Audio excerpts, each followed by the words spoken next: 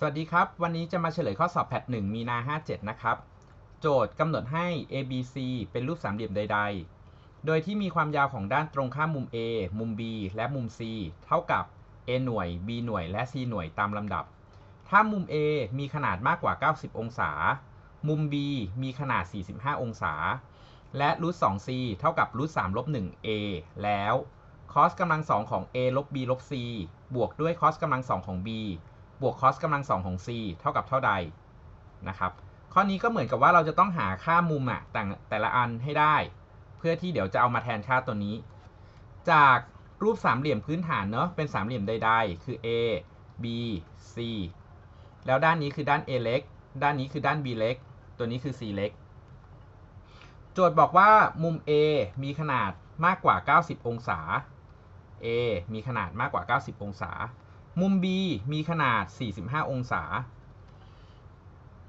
ดังนั้นพี่แบงค์บอกได้ว่าจากรูปสามเหลี่ยมพื้นฐานเนาะก็คือ a บวก b บวก c ต้องเท่ากับ 180 เนื่องจาก b คือ 45 องศา ถ้าแทนค่าลงมา แปลว่า a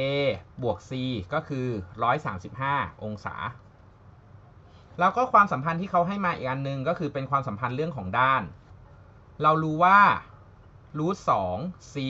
เท่ากับรูทสามลบหนึ่ง a นะครับ แปลว่าตัวนี้พี่แบงค์สามารถจัดรูปเป็นเศษส่วนคือ c ส่วน a เท่ากับรูทสามลบหนึ่งส่วนรูทสองได้ ทีนี้กฎของไซน์เนี่ย ที่เรารู้กันก็คือ เรารู้ว่า a ส่วนไซน์ a เท่ากับ b ส่วนไซน์ b แล้วก็เท่ากับ c ส่วนไซน์ c เนื่องจากตัวนี้มันเป็น c ส่วน a พี่แบงค์บอกว่าถ้าพี่แบงค์จับคู่อันนี้เอามาเท่ากัน a ส่วนไซน์ a มีค่าเท่ากับ c ส่วนไซน์ c ถ้าย้ายเอาไซน์ c กับ a เล็ก ตัวนี้สลับที่กัน แปลว่าไซน์ c ส่วนไซน์ a ก็มีค่าเท่ากับ c ส่วน a ปะครับ ดังนั้นตอนนี้เนี่ย พี่แบงค์จึงรู้ว่า ถ้าเปลี่ยนตัวนี้ออกมา มันก็คือกลายเป็น sin c ส่วน sin a มีค่าเท่ากับรูทสามลบหนึ่งส่วนด้วยรูทสองถูกไหมแล้วก็จากข้อมูลที่เรารู้เรื่องมุมตัวนี้ a บวก c เท่ากับ 135 พี่แบงค์สามารถบอกได้ว่า c ก็เลยคือ 135 ลบ a ป่ะครับ ใช่ไหมแล้วพี่แบงค์ก็เอาตัว 135 ลบ a มาแทนค่า c ตัวนี้นะครับ เอาตัวนี้ลงมาแทนค่า ปรากฏว่าตัวนี้ก็คือไซน์135 ลบ a ส่วนด้วยไซน์ a มีค่าเท่ากับรูท3ลบ1ส่วนด้วยรูท2โอเคละ ถ้าหากว่าพี่แบงค์เอาลงมาแทนค่า เอ่อ ขอโทษครับ กระจายออกมา ตัวนี้กระจายตามสูตรมันก็คือไซน์135 cos a ลบกับ cos 135 sin a ก็คือใช้สูตร sin a ลบ b เนาะเท่ากับ sin a cos b ลบ cos a sin b ส่วนด้วย sin a แล้วมีค่าเท่ากับรูท3ลบ1ส่วนด้วยรูท2อยู่ sin 135ถ้าเรายุบมุมมันคือ sin 45ซึ่งคือ1ส่วนรูท2 cos 135ถ้าเรายุบมุมมันคือลบ cos นะครับ45เพราะว่าเป็นควอดรันที่2 ลบชนลบกลายเป็นบวก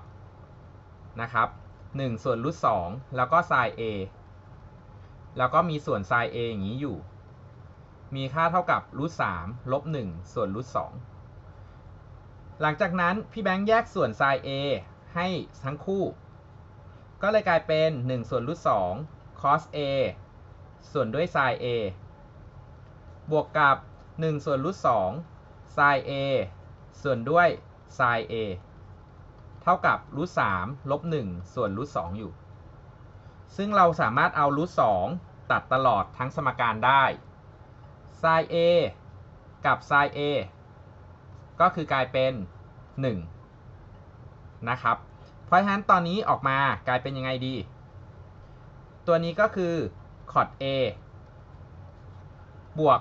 1 cos ส่วน sin คือ cot เนาะ เท่ากับรูท3ลบ1 เพราะฉะนั้น cot a ก็เลยมีค่าเท่ากับรูทสามลบสอง a รูทสามลบสองถ้าพี่แบงค์ดึงลบออกตัวนี้ก็คือ 2 ลบรูทสามะครับ เท่ากับคอร์ด a ซึ่งมันเป็นตัวที่พี่แบงค์ให้ท่องค่าไว้ไหมแทน 15 มีค่าเท่ากับ 2 ลบรูทสามคอร์ด 15 มีค่าเท่ากับ 2 บวกรูทสาม ปรากฏว่าแทน 15 ตัวเนี้ยจริง ๆ ตัวนี้คือแทน 15 แต่มันก็คือคอร์ด75 ด้วย ถ้าเราใช้โคฟังชัน แล้วตัวนี้ก็คือแทน 75 ด้วย เพราะฉะนั้นตอนนี้เพียงก็เลยบอกได้ว่าคอร์ด A มีค่าเท่ากับลบของคอร์ด75 ซึ่งลบคอร์ด75 เนื่องจากมุม A เนี่ยมันต้องมากกว่า 90 องศา มันจะต้องเป็นควอดแดนที่2นะครับเพราะว่ามุมภายในสามเหลี่ยม A มากกว่า 90แต่ต้องไม่เกิน 180 แน่ ๆ แล้วมันเป็นลบของคอร์ด75 ถ้าเราบอกว่าลบคอร์ด75 มันก็จะต้องตีกลับมาใน quadrant ที่ 2 ถ้าบอกว่าตัวนี้คือ 75 องศาอยู่ ตัวนี้ก็ balance มาที่ 75 แปลว่าตัวนี้ออกมา ก็คือกลายเป็น 180ลบ75 ซึ่งก็คือ 105 องศานั่นเอง จึงบอกได้ว่าข้อสรุปก็คือมุม A มีค่าเท่ากับ 105 องศานะครับก็คือใช้เรื่องของการยุบมุมมา เนื่องจากมันเป็นลบคอร์ดแล้วก็เป็นควอดแดนที่2นะครับพอเรารู้ว่า A คือ 105 องศา จากข้อมูลที่เรามี ว่าค่า C มีค่าเท่ากับ 135 ลบ a ดังนั้นจึงบอกได้ว่าอะไรบ้างครับเพียงขอสรุปแล้วนะมีกี้ a คือ 105 องศา มุม c ก็เลยกลายเป็นตัวนี้บวกกันได้ 150 ตัวนี้ก็ได้ 30 องศาถูกไหมครับ เพราะฉะนั้นพี่แบงค์เอาลงมาแทนค่า ตัวนี้คือ cos กำลังสองของ 105 b คือ 45 c คือ 30 ตัวนี้คือ b คือ 45 นะครับ ตัวนี้คือ c คือเท่าไหร่ครับ c คือ 30 เนาะเพราะฉะนั้นแทนค่าออกมา ตัวนี้ก็คือ cos กำลังสองของ 105ลบ45 เหลือ 60 60ลบ30 ก็คือได้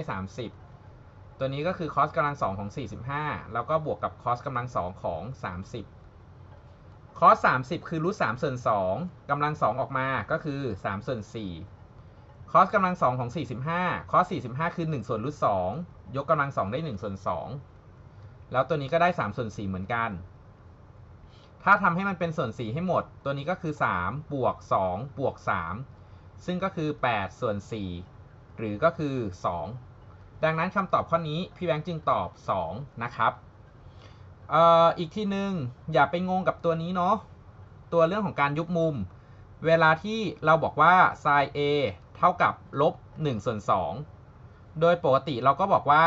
1ส่วน2เนี่ย มันก็คืออขอโทษครับอีกทีหนึ่งถ้าเป็น cos a เท่ากับลบ1ส่วน2เราก็บอกว่าจริง ๆ ตัวเนี้ยมุมพื้นฐานก็คือ cos 60 แต่พอมันเป็นควอดแดนที่ 2 จริง ๆ ก็คือ 180 ลบเซตาหรือก็คือ 180 ลบ 60 องศา ลักษณะเดียวกัน ถ้าหากว่าเรารู้ว่า a ในควอดแดนที่ 2 จริง ๆ แล้วมุม a ก็จะกลายเป็น 180 ลบเซตาเหมือนกัน ก็คือกลายเป็น 75 เนี้ยเอามาใช้ จึงกลายเป็น 105 นะครับ ก็ตัวเนี้ยลองใช้ดูนะครับ ไม่ได้ยากมาก เป็นเรื่องของการหาค่าตีโกน โอเค ข้อนี้ตอบข้อเอ่อตอบ 2 นะครับ